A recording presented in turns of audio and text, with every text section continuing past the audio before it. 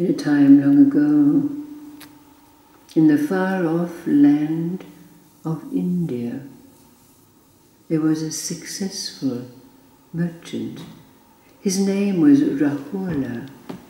He was young, handsome, and very virile.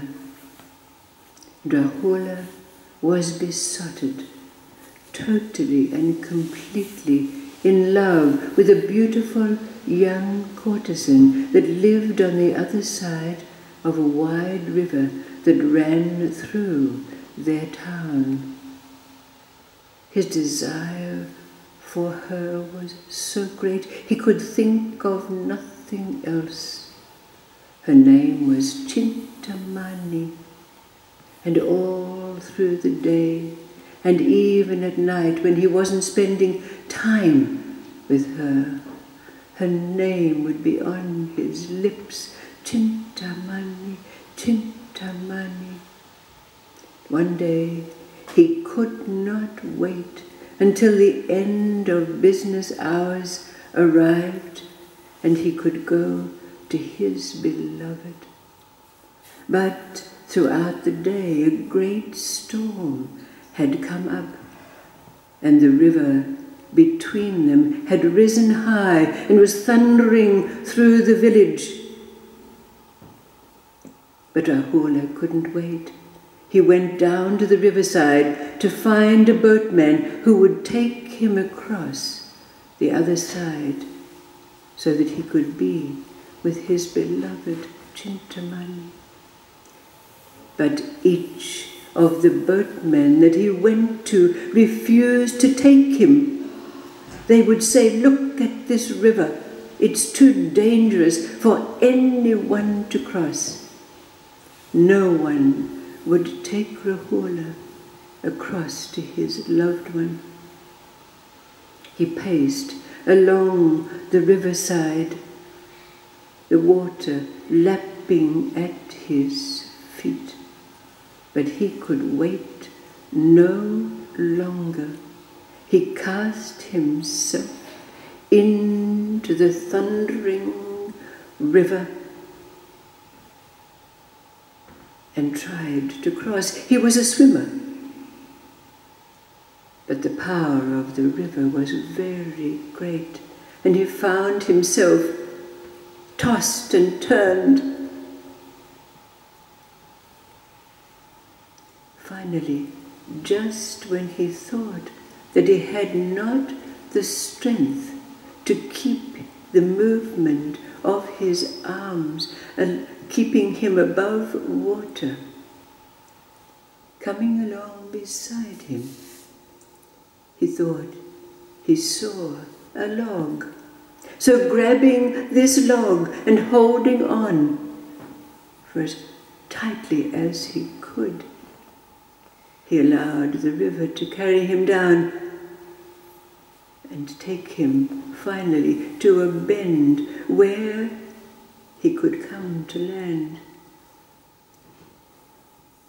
He dragged the log up, thinking that he could use it once again to make his way back before making his way to find the house of Chintamani.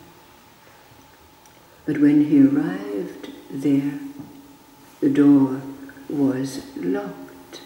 He went to each window, but they too were latched.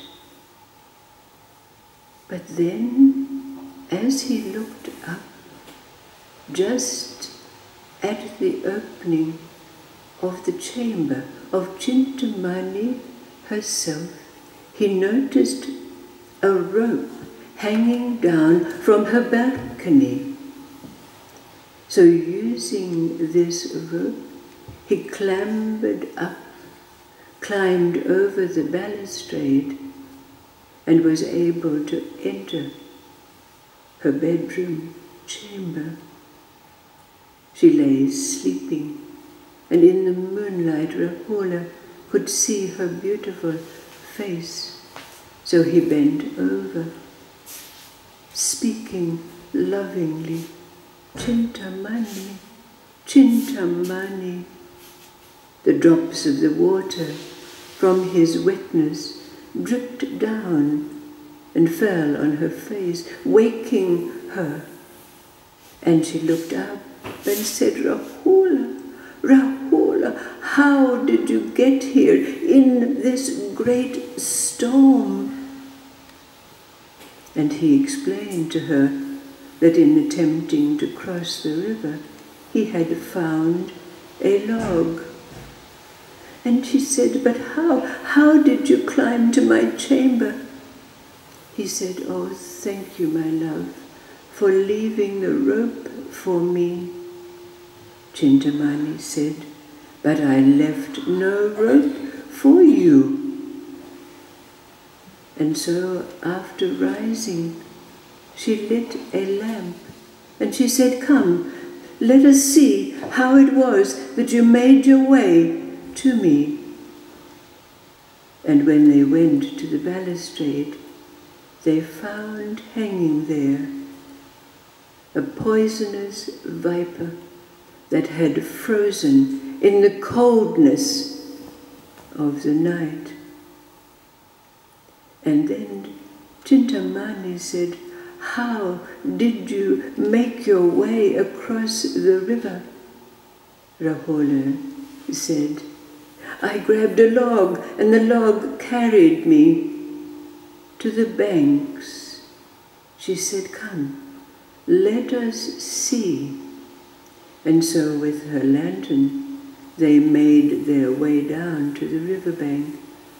And when they looked, there was the corpse of a fisherman who had fallen into the river and died. They returned to Chintamani's chamber, and Chintamani turned to Rahula with tears flowing down her cheeks, and she said, O Rahula, I am not worthy of your love.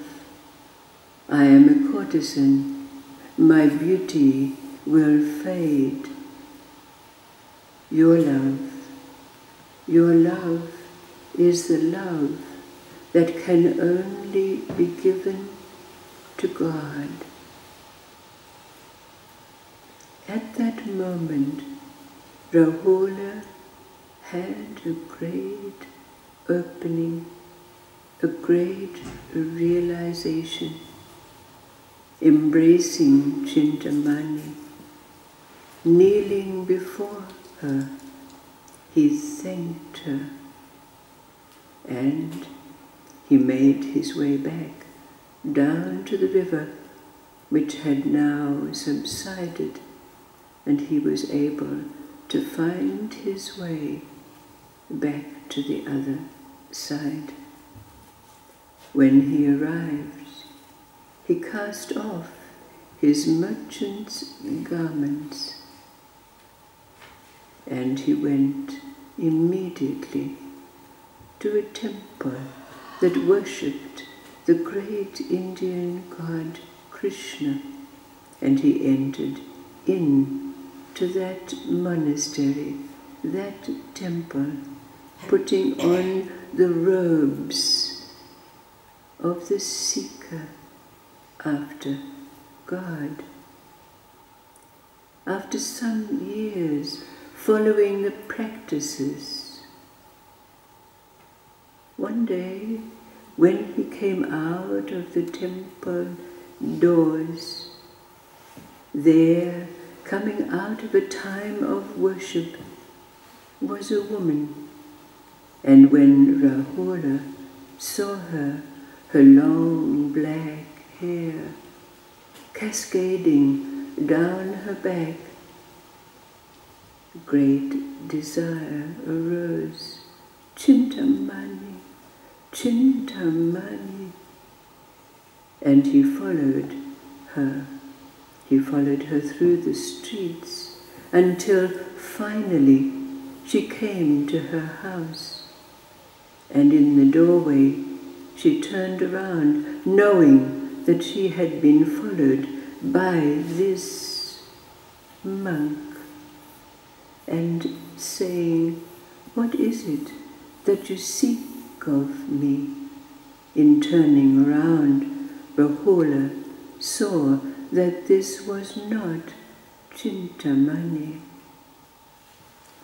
So he looked at her and said, Would you be gracious enough to bring me two needles?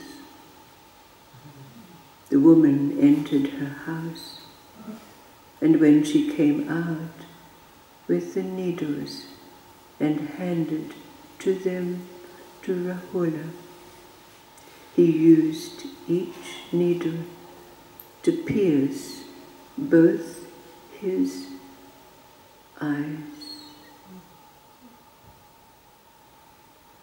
Rahula became a great saintly poet. But from this story, looking at the theme, you might even say the purpose of our being together, the death of love. What is the symbolic meaning of the piercing of the eyes? What for you is the deep meaning of the piercing of our eyes?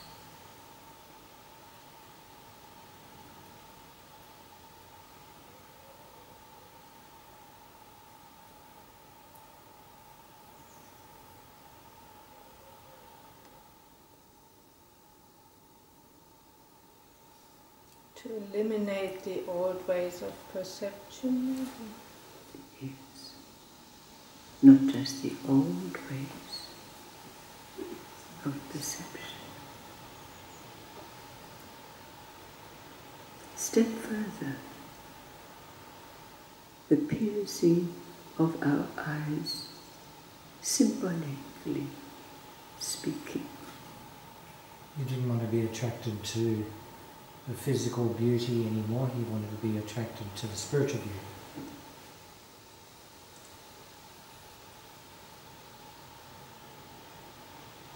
Go deeper in the place you are now. Recognizing that there's no fulfilling of what we want in any creation in the and word, really shifting totally away. the word of desire.